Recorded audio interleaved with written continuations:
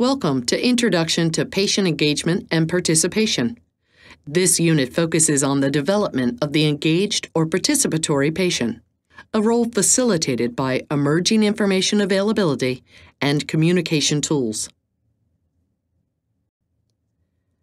At the conclusion of this unit, participants should be able to describe the spectrum of patient engagement and participation explore some common manifestations of patient engagement and participation. Review the role of technology in facilitating patient engagement and participation.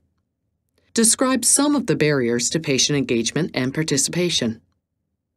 Describe some of the documented and proposed benefits of patient engagement and participation. Describe some of the commonly raised concerns related to patient engagement and participation. Over the last several decades, technology has changed many aspects of Western society.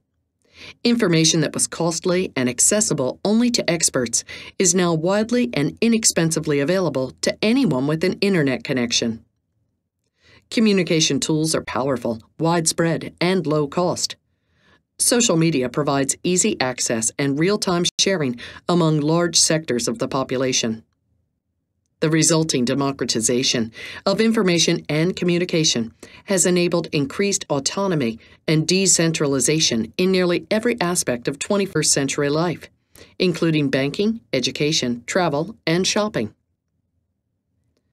This democratization has enabled the broad effort of person centric care. In this component, we will be talking about the narrower patient centered care because our focus is on persons already involved in the healthcare system. That focus has its own characteristics and complexity. This unit will discuss how these technical and cultural changes have begun to impact healthcare, with a focus on the development of the engaged or participatory patient.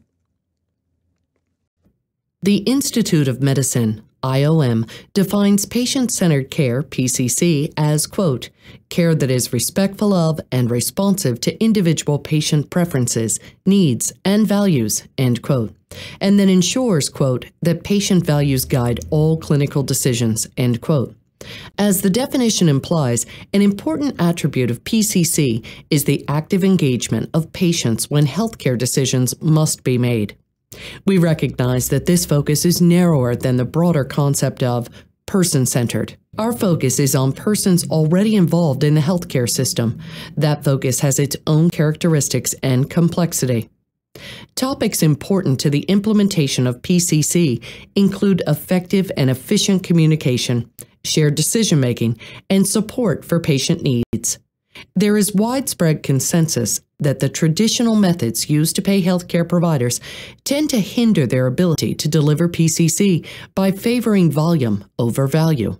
New and evolving delivery and payment models are expected to stimulate and sustain innovative approaches to the delivery of PCC in the future. Importantly, there is evidence that information technology can have multiple benefits for PCC by improving shared decision making, patient clinician communication, patient engagement, and patient access to medical information.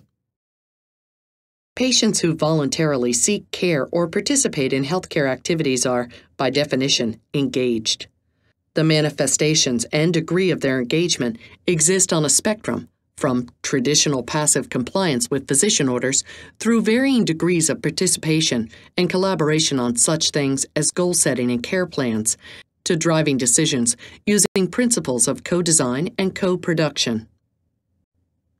Important factors contributing to the increase in patient engagement and participation include the explosive growth in breadth, depth, and complexity of medical knowledge and capability, which makes it impossible for the individual clinician or any clinical organization to remain current, support deep expertise in all areas, and provide the best available information and services.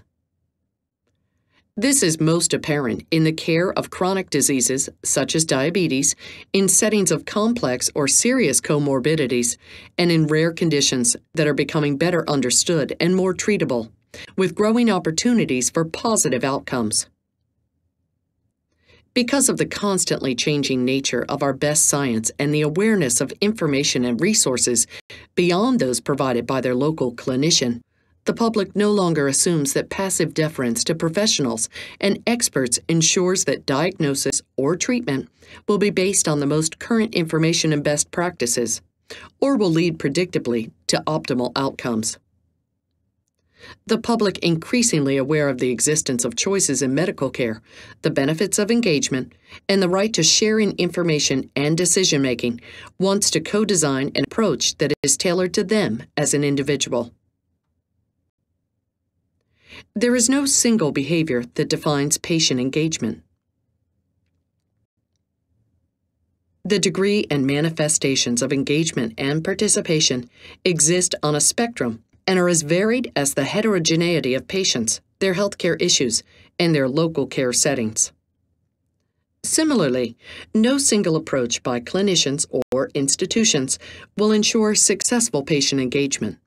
Despite this, some common forms of engagement can be found along a continuum from seeking information through co managing care to managing medical systems. At one end of the spectrum are patients who utilize various techniques to improve their understanding of their health and healthcare issues. The majority of patients seek information about both acute concerns and chronic problems from a range of sources, including friends, family, print or broadcast media, or the internet. They may do this prior to the visit and come in with questions or concerns, or after the visit to verify or supplement what they have been told during the visit. With new or acute problems, patients often seek information to try to do self management and avoid the need for medical care, or to determine what kind of care is needed. They may come in with questions, or with a tentative diagnosis or treatment. In the setting of complex or chronic problems, the time constraints of an office visit often make it impossible to cover all the information appropriate for the problem or address all the patient's questions and concerns. Studies have shown that about half of what patients are told during an office visit is forgotten immediately, and that half of what is remembered is remembered incorrectly. Engaged patients may take notes, request written or online information, bring a family member or friend to help by taking notes or asking questions, or wish to record part or all of the visit. Patients are increasingly aware that they are entitled to full access to their personal medical information and may request a copy of the office visit notes and test results. In addition to educating themselves about their health and health information, engaged patients may take an active role in the care process itself. This takes many forms asking questions, requesting clarification or more information, or asking for additional opinions. Contributing to the office visit agenda in advance by communicating their concerns and questions or areas they wish to pursue. Collecting and tracking health and medical data, no longer limited to simple measures like weight, blood pressure, episodic blood sugars, or peak flows. This now includes cardiac rhythm, anticoagulation labs done at home, wirelessly transmitted continuous blood sugars in diabetes, and a host of data points from a growing set of wearable sensors. Expecting their patient generated health data to be incorporated into their health record and used for both monitoring and decision making. Transition from clinician based to shared decision making. Patients expect to be told what their options are and what the evidence is and then be included as a partner or the driver in creating their individual diagnostic or treatment plan.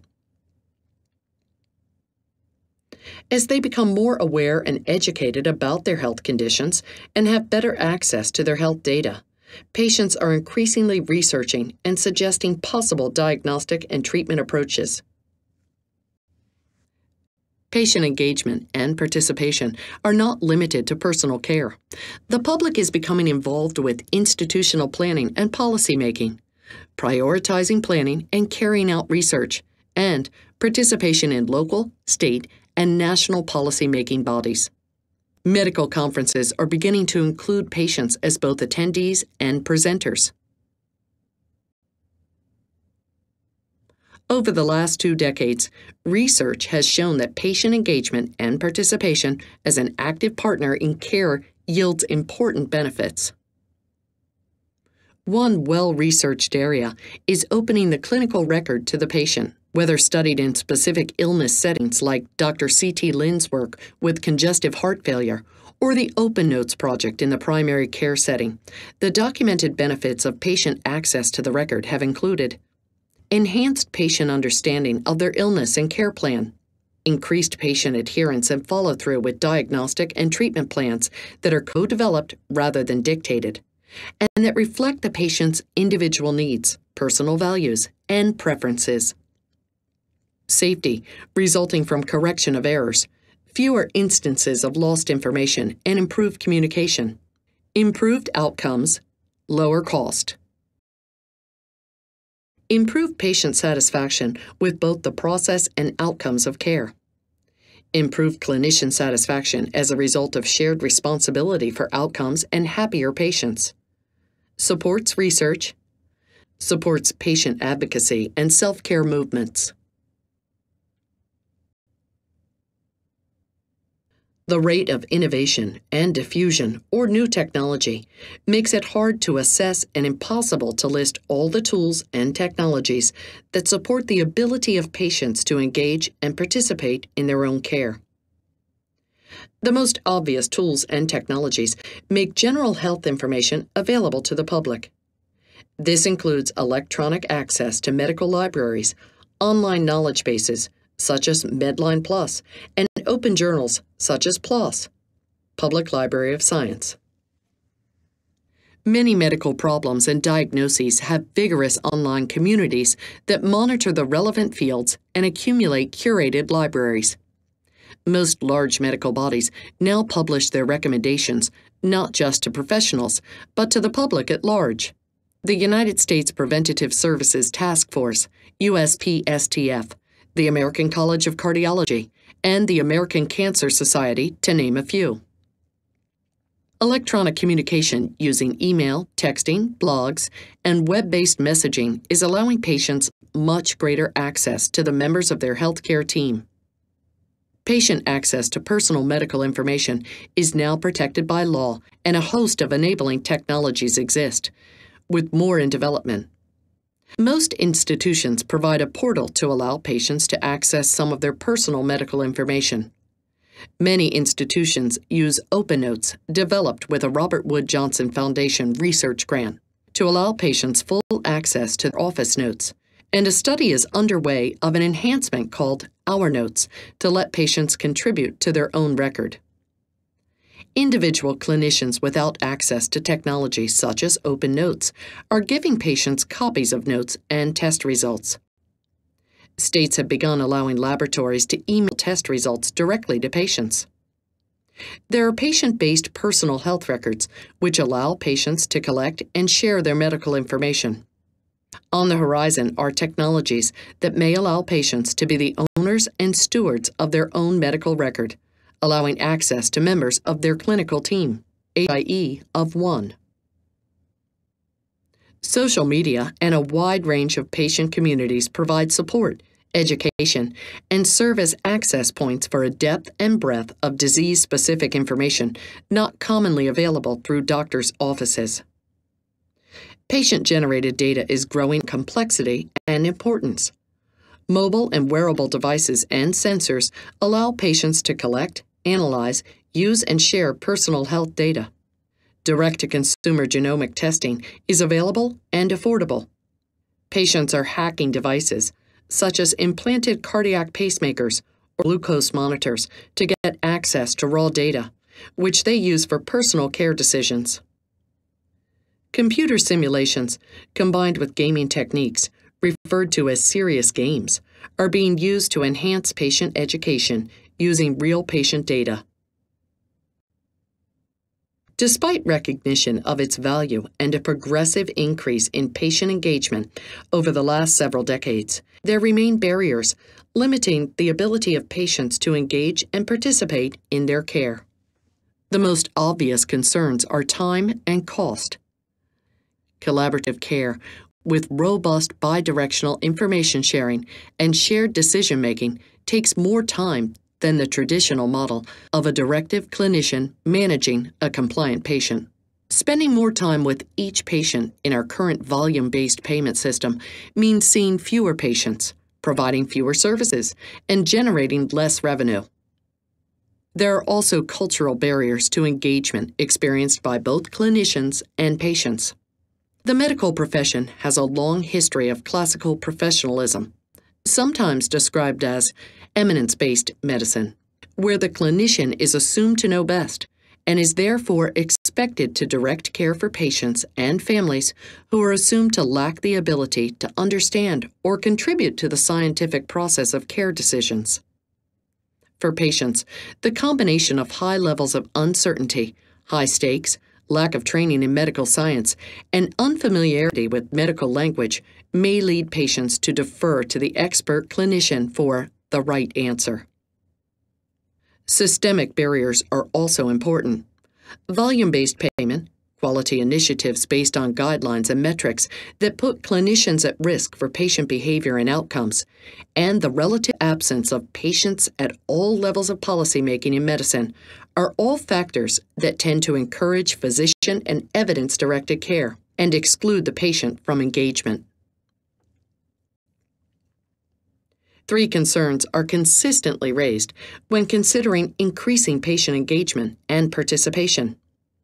Untrained patients and families are not equipped to understand or participate in a meaningful way in directing care. Untrained patients will be confused, upset, and may be harmed. Untrained patients will insist on inappropriate, costly, or potentially dangerous testing or treatment. These concerns have not been borne out by multiple studies. Open Notes, for example, began as a several year study of about 20,000 patients and their primary care clinicians.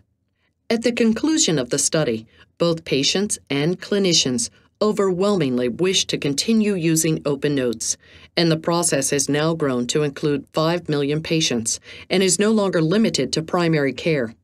Confusion and harm have not occurred. This concludes the unit Introduction to Patient Engagement and Participation. In summary, as a result of technological advances in information and communication and broad societal changes, engaged patients who wish to participate actively in co driving their care are becoming more common, and if trends continue, will soon be the norm. The evidence currently available says that this will provide benefits in terms of improved safety and better and higher levels of both patient and clinician satisfaction. The commonly cited concerns about untrained patients being unable to participate meaningfully or being harmed have not been seen in studies. There remain substantial systemic and cultural barriers to patient engagement.